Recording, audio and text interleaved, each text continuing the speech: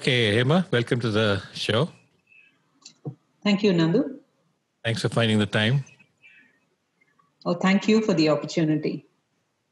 Right. So, um, yeah, um, I'm quoting Jonas Salk here, the polio vaccine guy. If all insects on Earth disappeared within 50 years, all life on Earth would end. If all human beings disappeared from the Earth within 50 years, all forms of life would flourish.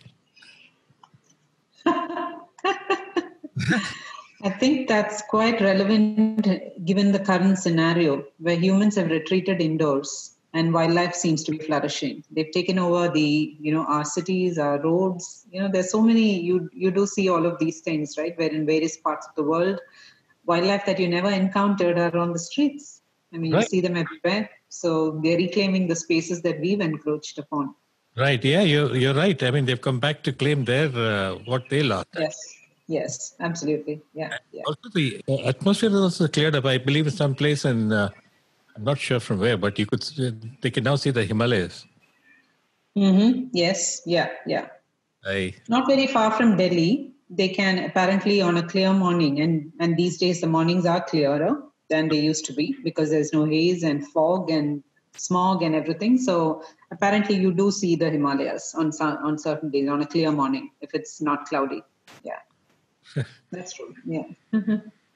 well, um, yeah. So uh, I, I was reading reading up something about the uh, kind of uh, drop in insect population that we've been having from say uh, from I believe some place in Germany they had these sticky fly traps, and they took a, a biomass load, or I don't know what the technical term is, but when they checked it from 1989 up to now, over 27 years, there has been a decline of 76 percent of insects. Yes.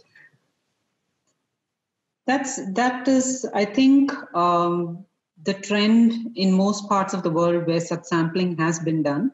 Mhm. So what we lack in this part of the world, or in a lot of developing countries and in the underdeveloped world, which also hosts you know a major proportion of the biodiversity, is Mhm. that we lack such systematic sampling. We have no idea about the losses. First of all, we have no idea about our biodiversity, which remains poorly documented. Uh, For example, if you were to take the Indian scenario, mm, a lot of the biodiversity that we know of, Indian biodiversity, let's talk about insects because insects are a very, very biodiverse group.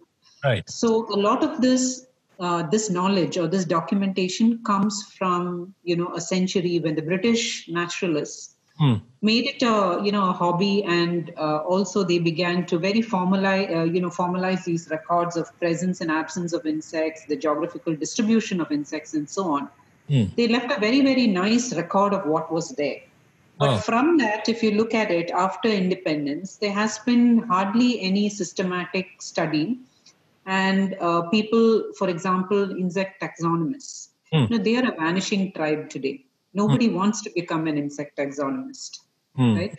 So this is a skill it's a hard learned skill. It takes years of specialization in order to be able to identify insects to the family order level or even the, the genus and species level. Mm. but that's a very uh, most of these taxonomists if you look at it they are most of them are retiring today or they've already retired. And there is no you know younger generation to replace them because people have moved on and that's a reflection of the job scenario and so on and so forth so as a result of it even the collections that we have are very old Mm. Secondly, you know, a lot of the collections in India, there is the Botanical Survey or the Geological Survey of India or the Zoological Survey of India. Most of these collections are not very well maintained. They're not in the best of conditions. They should be much better documented and maintained, but Okay. they're but they're languishing. So this is another issue that we are facing. First of all, we don't know what is there, and then we haven't documented them properly, and there has been no systematic follow-up further. You know, so these are issues. Yeah. Right. Uh, I mean, as a layman, um, I remember that if you went for a long drive, you Mhm. had to come and clean your windshield uh, probably once after every two hours of driving because of, I mean, it's, it's gross, but a lot of dead insects on your windshield. Yeah, yeah, yeah. Yes. Yeah, yeah. So overall, there is a decline. So from whatever data we know in various parts of the world, maybe you know from the us or it may be from the europe where the best data comes from. I think there is a pattern there is an underlying pattern that mm. there is a reduction in insect pollinators for instance. Let's take the example of pollinators. These are beneficial insects and people you know will connect to them very easily because they give us food security they pollinate our crops they are responsible for wild plants blooming and so on and so forth but uh, all of these studies have shown that if wherever there is historical data from a century or even half a century ago, and then hmm. there's a follow-up study now, we see that you know those relationships between plants and pollinators have weakened. Some mm. of those links have disappeared, mm. or they have all you know they've been replaced by other insects. So they have changed in form and structure over time. Right. But fortunately uh, for us, I mean, like in India, perhaps, and maybe a lot of you know the, developing world, mm. we have a lot of biodiversity. We have a lot of pollinator species. Mm. So hmm. perhaps we can only hope. We can only hope this mm. that even if there are a few species that are lost, perhaps these links are still flourishing. We don't know. For that, we need to validate it with our data. But right. that's something that's not so easily available, as I was just saying. Yeah. Right. So, uh, what would you attribute this to? Targeted killing by these pesticides, or what do you think is the uh, if you had one reason what would it be i think it's hard to say what is a single one reason uh-huh. but if i were to say what is a major stressor for pollinators or insects in general uh-huh. it would be i think habitat modification so, because uh, we have uh, a lot of our habitats have been replaced by farmlands, which are essentially monocultures, huge, you know, vast tra- uh, tracts of monoculture, right. and these crops are often not suitable for all insect species.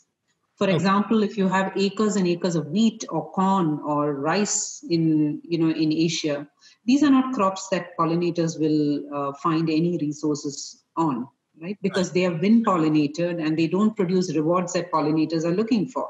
So these are essentially areas that are not very suitable for insect pollinators. On the other hand, if you have a mixture of crops, you have your rice fields, but you also have your field margins, which have wild plants, which are, you know, produce flowers, and then this could act as uh, food for the pollinators.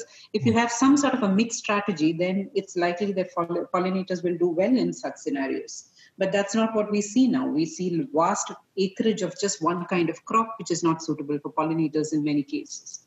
Okay. So I, I would say that it is the one big factor would be uh, modification of habitat or landscape modification.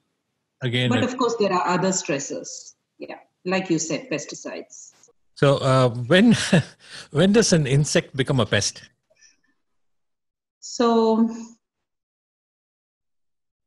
if you talk about agricultural systems, right? Uh, let us talk about. Let's take the case of you know everybody connects to butterflies. They're beautiful insects. They're showy insects, and so on and so forth. Right. A butterfly could pollinate your crops. Okay. Because uh, you know they, uh, as they feed nectar, they could transfer pollen, and they they are they are good pollinators. Hmm. But at the same time, the same butterfly could also lay eggs on the same plant and those eggs will develop into caterpillars which essentially chew up the leaves and you know destroy the crop. Right. so very often what you find is that you find the same insect that has a beneficial effect and it also has a negative effect. Right. Right?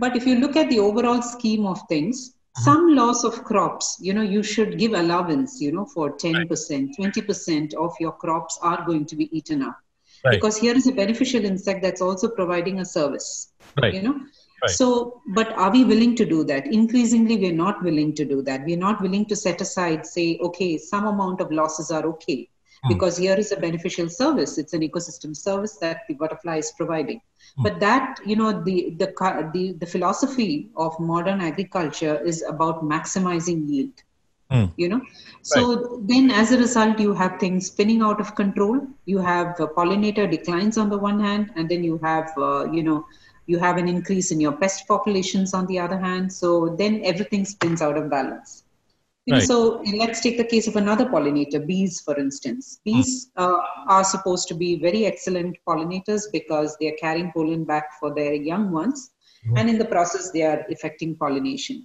mm. now uh, very often uh, when we use pesticides on plants these have effects on bees. And we have lots of studies that have shown that bees can be affected by certain you know threshold doses of pesticides that are applied on plants mm. and mm. this can ha- have an effect on development wing development muscle development memory learning in bees because mm. they have to learn to identify a plant a flower in order to make subsequent visits to that particular flower so all of this can get affected and right. there are lots of studies that have shown this to be the case oh. so yeah so coming back to your question yeah it is um, i think that there has to be a balance mm. and we should allow some amount we should be prepared to lose some amount of whatever we grow to right. you know insects for their food and for their sustenance. So i think it's all about a balance. It's about finding a balance. Right. So the farmer has to be educated in other words.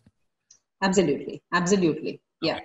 and uh, the whole philosophy of farming has to be has to has to change. Right. You know it can't be just about yield maximization right. it can't be just about that. Right. Uh, yeah when you were talking about bees and uh, how they have they kind of uh, uh communicate with the other bees where uh, this particular flower is found or whatever. So do they have some kind of a, a uh, kind of a collective intelligence? How does it work? Because a bee by itself it's, i'm guessing compared to the the size of the brain must be microscopic. So how does it get this intelligence? Is there a collective intelligence? How does this work so the the funny thing about bees, and I think when you talk about collective intelligence, you're talking about honeybees. Right. There are lots and lots of bees that don't live in these large groups uh, like honeybees do. But honeybees are important pollinators across the globe. Okay. So in honeybees, what happens is that, um, and this is very early work from this uh, from the scientist called Carl von Frisch, who mm-hmm. won the Nobel Prize for this discovery, where he showed that a honeybee that is able to forage and find food comes back to the hive mm. and she informs nestmates or hive mates about the location of food. Right. And the way she does this is through a symbolic language. Hmm. It's called the bee dance or the waggle dance. Waggle dance. So yes. the foraging, yeah, the waggle dance. Yeah. So and the the waggle dance actually codes information uh. on the direction to the food source uh. as well as the distance to the food source. Right. And so, therefore, what happens is that the follower bees who are watching this dancing bee who has been successful in finding food mm. will then observe, you know, in what direction and also the intensity of the waggle dance, and then they will be able able to take off in the same direction and find the food resource. Mm. So here, what happens is that this is a way in which the colony achieves efficiency. Mm. Instead, you can imagine an alternate scenario where each bee has to individually find food, and hmm. that's not a very efficient uh, you know way to feed a large colony of thousands of bees right but yeah. if somebody is telling you where to go so then it makes the whole you know the supply chain very efficient True. so yeah. that is what we call i mean you can think about it as collective intelligence though per se there is no intelligence that is involved these are hard hardwired behaviors okay. you know the dance is a hardwired behavior and you know uh, observing the dance or picking up information from the dance is also a hardwired behavior. So in that sense it's not so much as how we think about intelligence. But when yeah. you say uh, hardwired you are, are, you saying that it's uh, it's in the genes is it? Genetic inf- it is genetically coded. It is genetically coded. Okay. you know the waggle dance the the components of the waggle dance it's genetically coded and people know that uh-huh. right so they don't know the specific genes that are responsible for this you know for the waggle dance and so on but uh-huh. of course it is hardwired information because every species hmm. has uh, you know uh, has its waggle dance hmm. and it's also uh, you know in in areas like in in asia where you have several species of honeybees hmm. there are studies that have shown that one uh, you know of uh, you know the, the dance of one particular bee species can also be sort of followed and observed and understood by another species. So there is this transfer of information, not just within the hive, but also across species, which is, I think, very fascinating. Yes, it is. It's almost like they have a universal language, what we don't have, right? Yes, absolutely. yes, yeah, yeah. That, uh, the inner uh, inner circle of bees that was kind of watching this dance. Mm-hmm this information throughout the hive by is, is that true did i did i read right uh, so what happens is that i think we know that uh, if there is a dancing bee Uh. Then she's observed by something like four to eight bees. Okay. Right? Who, who, who surround this bee and they're watching this bee. Uh. Well, when I say watching, we don't know what exactly is the information they're perceiving. Okay. it could be it could be physical contact it okay. could be vibrations that are transmitted through the comb surface mm-hmm. it could be a combination of these things it could be smells of the flowers so it's likely to be very multimodal mm. right? so they could be uh, perceiving all this information there could be visual information there could be olfactory information there could be vibrational information mm. so it's not really clear how this information is transmitted Mm-hmm. But using very controlled experiments, people have shown that these bees can be recruited to the same resource. Mm.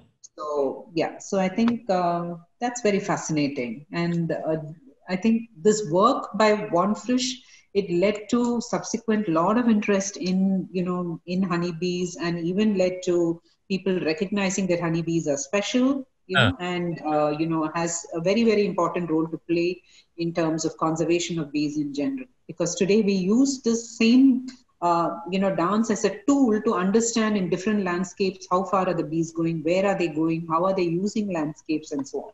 So this is the applied you know part of this behavior. So we take this behavior and we try to apply it, and then try to see what do we get. How do how do different landscapes? How valuable are different landscapes to bees, and so on. Wow. I mean, considering that uh, they have to build in a height component also to it, right?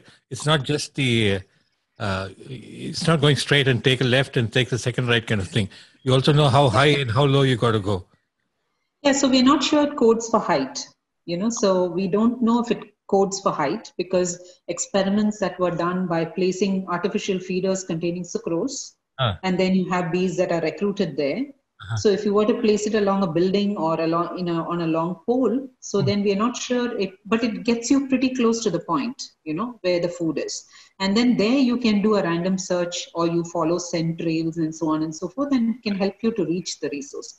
So okay. it, we, we don't have information except for one species perhaps, but even that it's not very clear to what extent they use altitudinal information.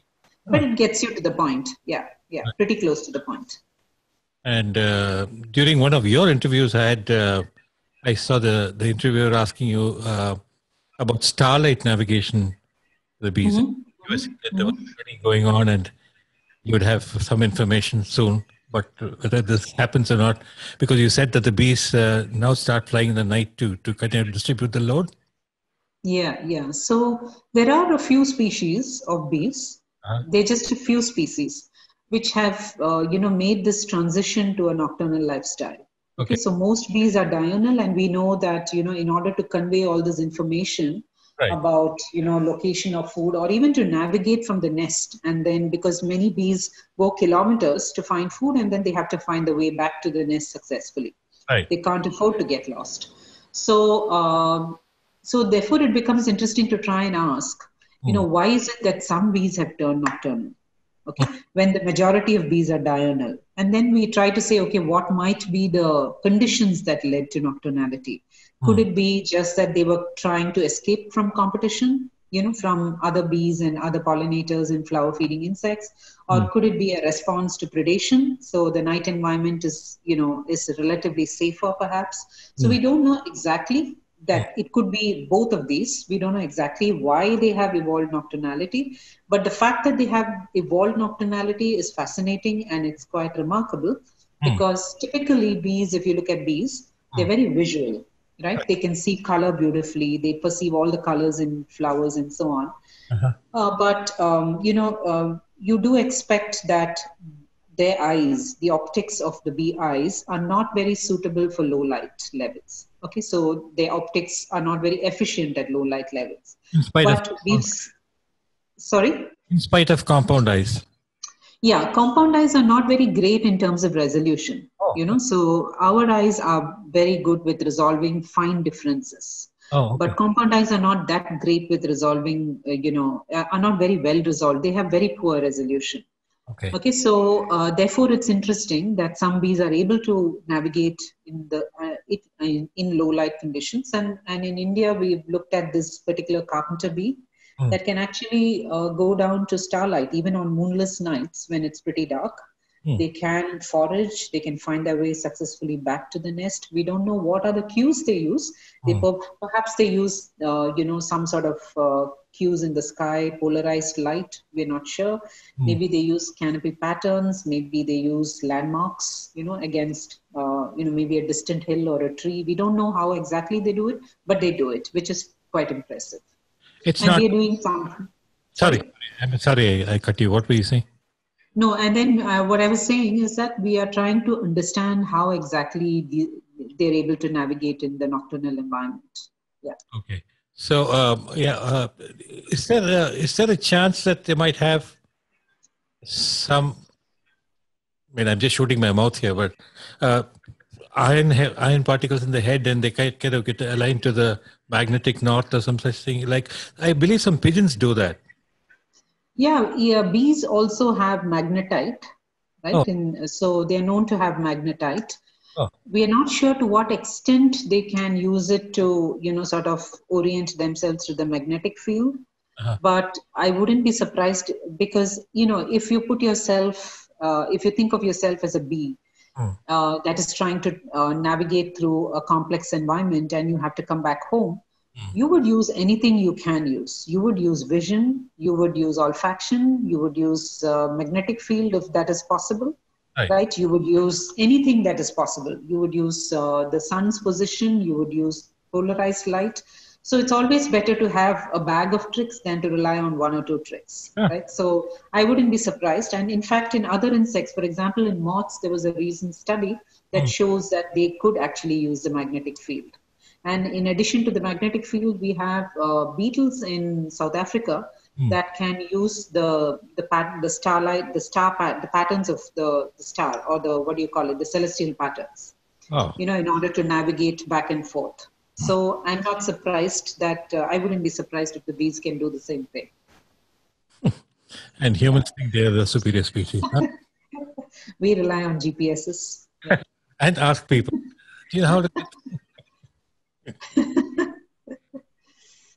um, the other thing was about uh, how each, uh, like you have the foragers, you have uh, the ones who take care of the queen and the ones who uh, clean the hive. So how does this? How do they take on these roles? Are they kind of born that way? Is there something like uh, genetically they are they do this task, and if they do it, are these are these tasks swappable in the sense that a forager could he become a guard and things like that? Yeah, so what typically happens from what we know is that um, in honeybee colonies, mm. uh, the workers, uh, the queen is the reproductive individual, right? So she, her job is to lay eggs. The workers take care of everything else in the colony. So right. usually, when a worker bee is born, mm. she starts her experience by work experience by doing jobs within the hive. So typically, she would help in uh, you know, comb construction, or she would help in, you know, taking care of feeding the larvae, mm-hmm. right? Uh, or she would take care of hygiene activities within the within the nest or within the hive. Mm-hmm. Or she would take care of colony defense by waiting. You must have seen at the entrance there might be a few bees hanging out for you know to uh, to defend the colony, for instance. Mm. And then as she ages or when she becomes older, then the older workers will take on the job of foraging in the outside environment. Okay. Okay, so it's with experience. So you can see that there is this ontogeny or this age age based division of labor. Okay. When they start doing in-house activities and then they graduate into doing, you know, the the foraging in the landscape and so on and so forth. Mm-hmm. So that is how it is in most species. There may be differences in the face of each activity, mm-hmm. and there are some species where they can do more than one activity at the same time. Mm-hmm. But usually you see this progression ending with becoming a forager. And then shortly after that, uh, you know, typically maybe a forager is active for about 10 days mm-hmm. or, you know, two weeks. And then it depends on the species and the conditions but then after that usually the bee dies oh okay so yeah. what exactly is the lifespan of an average uh, lifespan of a bee so it might in some in uh, some species it could be uh, you know as short as three weeks mm-hmm. and there are others where it could be maybe about 45 days or even 60 days. Okay. So it varies. Yeah. Yeah. So, uh, what what exactly happens when when uh, you know uh, bees don't necessarily have to go to the same species of plants every time to get the reward, right? And the nectar and things. So mm-hmm. they they probably would fly. Uh, I'm just giving a, a, example from the top of my head. They'll probably land on a jasmine flower, and then go on to a shoe flower, and so on and so forth. So if they carry the pollen from the jasmine flower to the shoe flower, it's of no use. Yes. Yeah. In terms of uh, reproduction. So how does this work? How does how does this thing work? Yeah. So uh, typically, a lot of uh, pollinators show a behavior that we call as uh, flower constancy. Okay, what this essentially means is that imagine that there's a bee that's flying through the environment and she encounters, let's say, a bunch of you know different floral species, let's say 10 to 12 species. Hmm. Now she would pick on one species, hmm. Okay, uh, and then she would visit just that species in sequence. Okay, oh. so she would go from flower to flower and from plant to plant, visiting that one species, and this is what we call as floral uh, constancy. Okay, oh. and that helps the plant because uh, you know there's no the pollen that's transferred is the proper pollen, and it helps in fertilization and pollination. And hmm. the, what is the benefit to the bee in doing this? Does it make sense for the bee to do this behavior? Yes, from what we know, it makes sense for the for the bee to uh, you know be flower constant mm-hmm. because they can only store you you just mentioned early on that the bee has a very tiny brain right, right. and a very right. tiny brain is constrained by how much information can be stored right. so therefore it be, makes foraging much more efficient to mm. store you know the or to memorize the features of what is a flower that they want to visit mm. and then pick just those flowers so it makes the whole foraging process much more efficient you know, ah. the handling time for flowers also varies. So you become a specialist or you get better and better at a task when you do the same thing repeatedly. Right. You know, Right. So let's say you take, uh, you know, a flower which is, say, a chrysanthemum or something like that. So you just visit chrysanthemum after chrysanthemum after chrysanthemum. So it helps the plant and it helps the bee in the right. process. Right. And so it just leads to efficiency for both partners that are involved. Okay, so that is that's something that a lot of pollinators do, and these are the, the, these are the benefits to the bee, and of course the plant is benefited because it gets you know fruit formation and fitness. Hmm. It's amazing, isn't it? How how these things so beautifully dovetail. Absolutely, absolutely. It doesn't. Yeah, yeah. It doesn't fail to sort of fascinate me even today. In fact, even as we talk, I have a student who's just running experiments uh-huh. He's doing controlled experiments because these experiments are very hard to demonstrate in the field. Uh-huh. So he's trying to do experiments in the laboratory where he feeds them. Uh, we keep beehives in the laboratory, uh-huh. and then we have this artificial flower arena, and uh-huh. then he's trying to check this flower constancy behavior.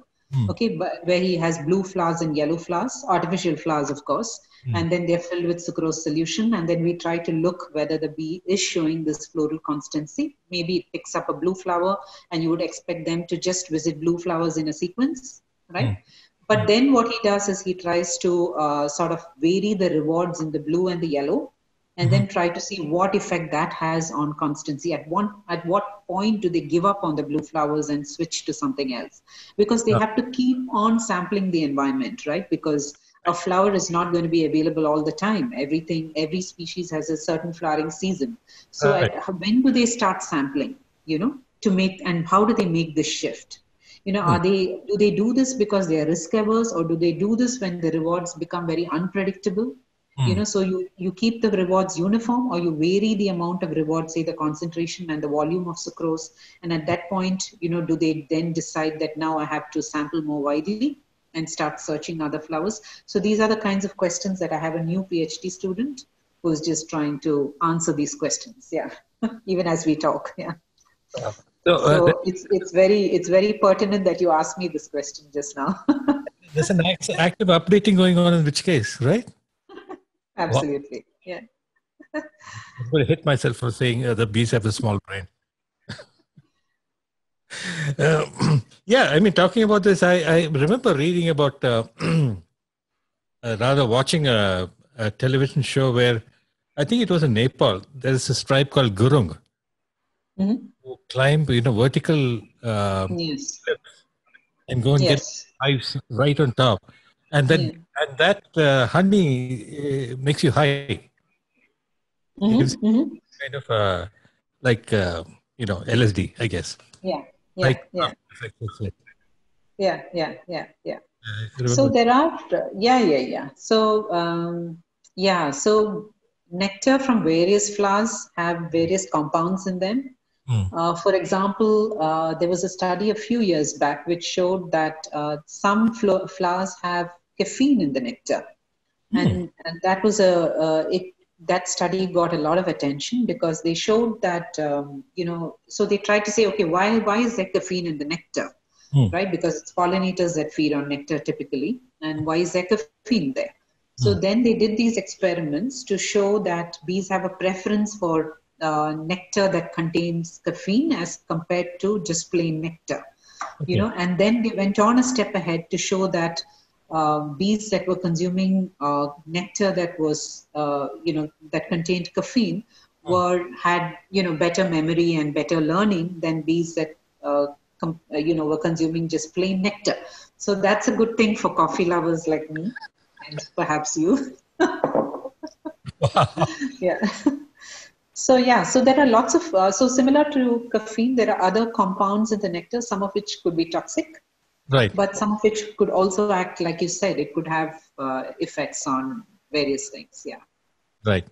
Uh, how far has this uh, commercial beef farming um, impacted uh, the bees as such?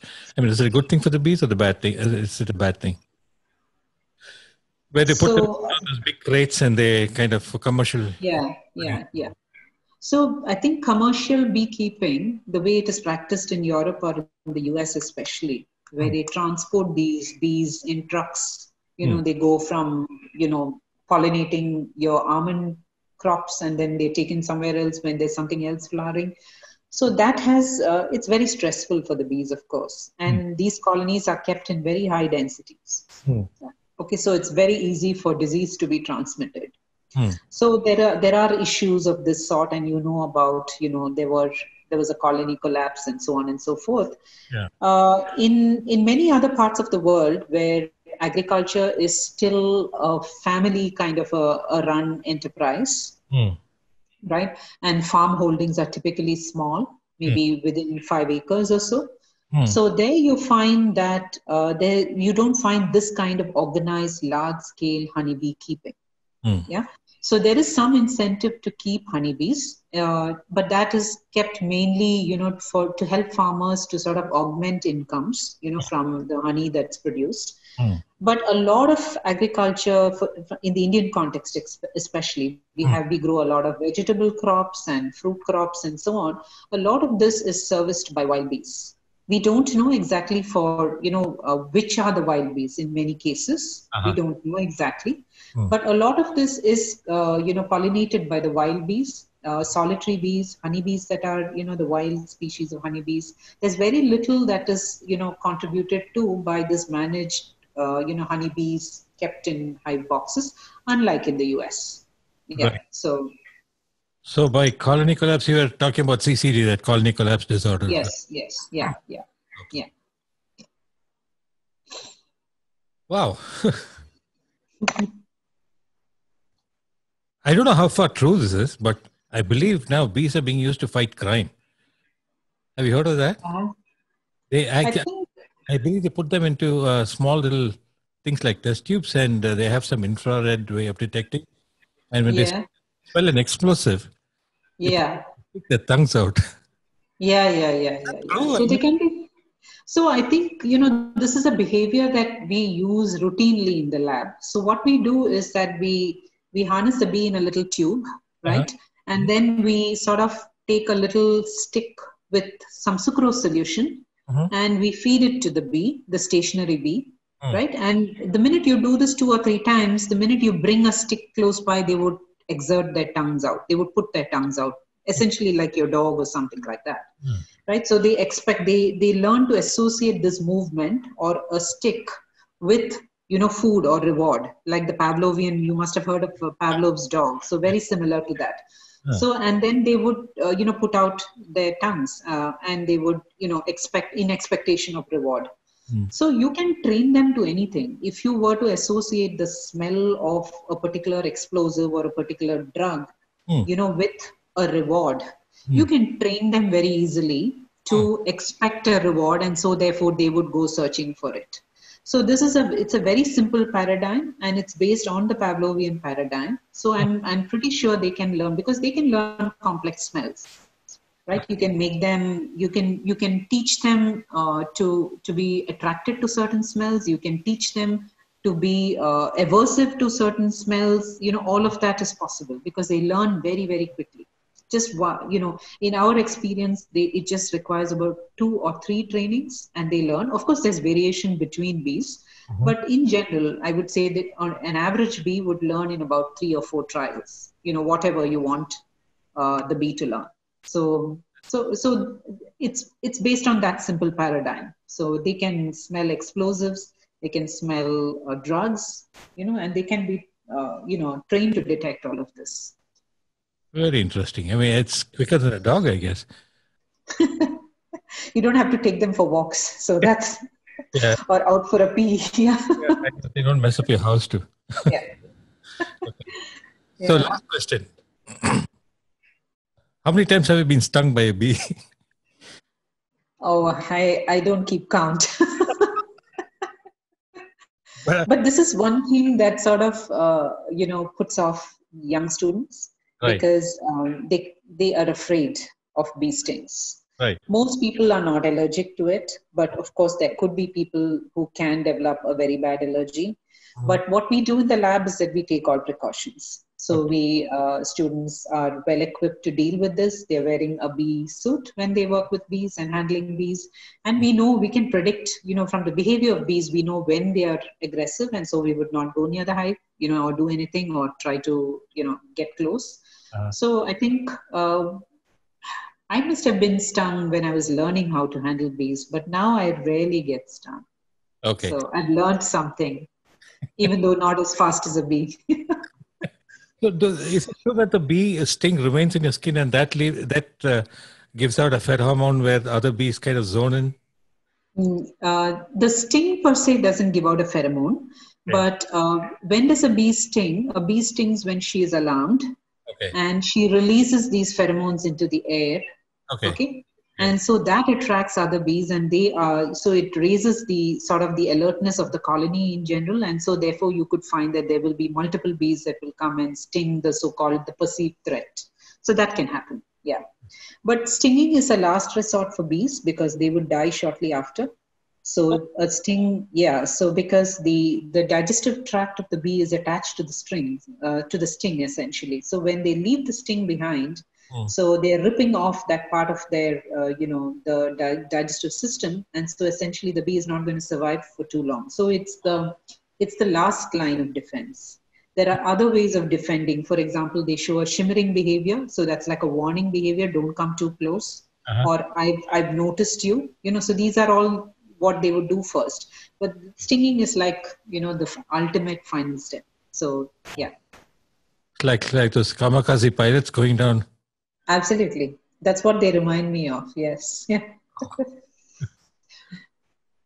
So, Hema, thank you so much. It has been a wealth of information and it's been so enjoyable speaking with you. I'm kind of excited by, uh, you know, how nature kind of interacts. It's like a big, huge web, you know, at every point, it's it one movement justifies the other. I think. Uh, I mean, words fail me actually, honestly, because it's. I so think you your description is very very accurate. What you just said, because I think there are you know there are these distinct life forms and in some way these life forms are connected we know about some of those links we know about how strong some of those links are but there are several links that we are not we, we are not aware of and we haven't documented or we don't we don't even know mm. and many of those links between different species are fast unraveling mm. right in a rapidly changing world they are unraveling and we don't even know what consequence they have for this the for the structure of the web right is the web going to be resilient and to what point is it going to be resilient? Right. So when when I study pollination networks, we're essentially looking at networks because there are lots of pollinators connected to plants and plants connected to pollinators. It's a mess. Right. But we don't we know that some of those links are very critical and some may be less critical. But we don't understand, you know, if you were to perturb some of those links, what happens to this structure is Hmm. something that we can only fathom, and we don't have the luxury to sort of uh, you know see this happening because very often it goes unnoticed. Hmm. and we can only try like i started out by saying only if we have historical data can we look at those links you know, at some point in the past and then now and then see what is happening and then try to decipher what could happen. So but i think you hit the nail on the head by saying that you know it is a tangled mess it is a web and Hmm. there are interactions and you know some of which we don't even recognize and Hmm. so therefore we should do our best to try and see how we can protect these interactions that go on that we don't even fathom Right. It i think that would be yeah, a net sum zero kind of game, right? Because yes anything that Yeah. up a bit, the other one kind of takes it over and brings it back to. yes yes yes And I'm I, sure there is inbuilt resilience. Okay, Ah. it can't be such a fragile network. Okay, these interactions are not that fragile because otherwise it would have ceased to exist by now. So there is resilience, but how much of resilience is the question, I think. yeah. So because the, the thing I was saying is the uh, the the flowers need the bee for pollination for it to propagate, and so on Yeah, yeah, yeah, absolutely. and so much. And I think we humans are the aberration. Uh, anyway, Yeah. thank you so much. Hema. Thank you so much, Nandu. It was a pleasure talking to you. Thank you.